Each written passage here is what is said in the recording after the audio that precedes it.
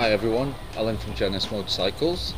Uh, today I'll be trying out uh, Knightwash 101 cleaning solutions. Um, so what we've got here today is a fast acting cleaner for all motorcycles, mountain bikes and road bikes.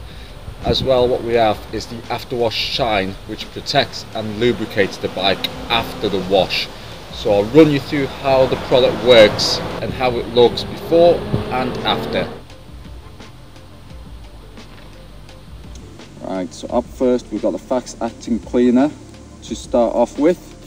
Let's just read the directions first. Right, so hose down the bike with some water, spray the bike wash 101, oh, uh, sorry, the Knightwash 101 onto it, leave between one minute and two minute, okay, and rinse off with a high pressure washer. So I don't exactly have a very strong high pressure washer, but I have some sort of pressure washer which uses a basically a drill battery and suctions water out of a bucket. Uh, I found that very easy to use for where I live because I haven't got access to a um, anything water wise.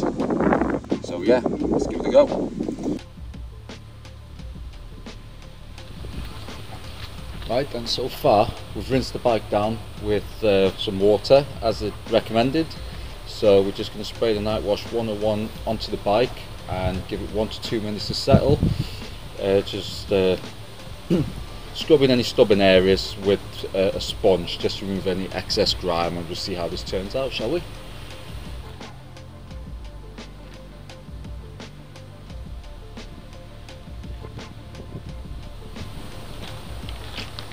Right then, we'll leave that to one to two minutes.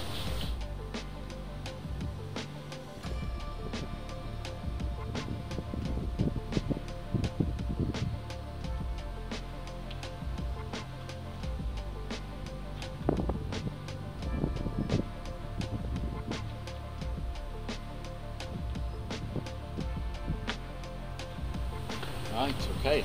Um, I know it says scrub off more or less the grimy or dirty areas, but I'm that much of a perfectionist. I've done everywhere on the bike.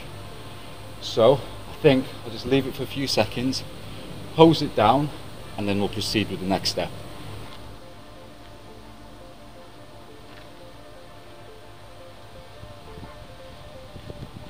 As always, we always hurt ourselves when cleaning our bikes, which is perfectly normal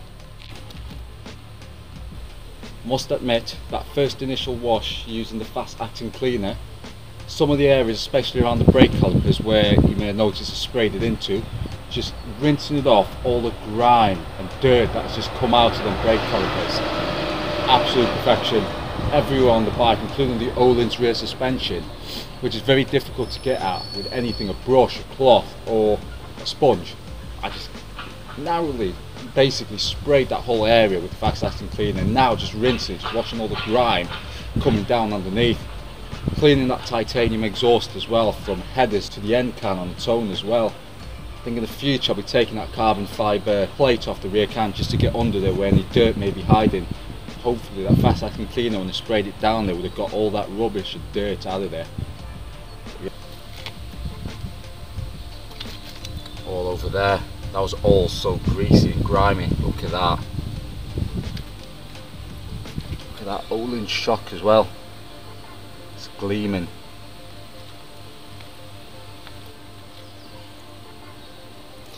Titanium as well. Once it's all nicely dried up and we've added the next step onto it, that's going to look beautiful. Right then, moving on to the next step after wash shine uh, protects and lubricates. Directions to use is clean your bike with a Knightwash 101 which we've done. And whilst the bike is still wet which it is now spray night shine directly to the bike surface leave it to air dry no need to wipe off with a cloth. The bike shine will disperse the water and leave an even high gloss finish. Just be very careful not to use on any seats brakes or handlebar grips. So we've just got to be very, very careful when applying this onto the motorcycle.